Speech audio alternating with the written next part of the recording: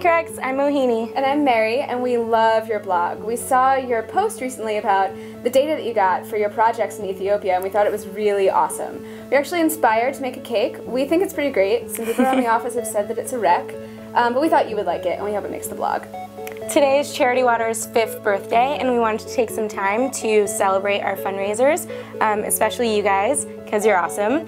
You've helped us um, serve over 2 million people with access to clean water, and we just wanted to say thank you. Now we're going to make a wreck. Oh, yeah. Ah.